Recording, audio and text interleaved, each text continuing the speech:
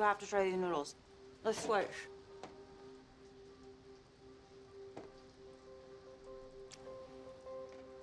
Oh, it's way better than mine. Agreed. Now give me mine back. No chance. Give me those noodles. Nope. Give me those noodles. Nope. Okay.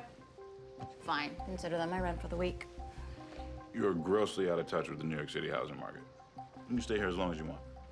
On one condition. Could you not squeeze the toothpaste from the middle?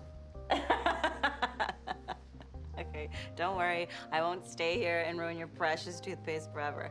Once we get Dominic and stop whatever Madeline's planning, I will finally get my life back. Deal. Well, we also have to talk about your snoring. My snoring. Yep, we got You're snoring. I don't snore. You a thousand percent snore.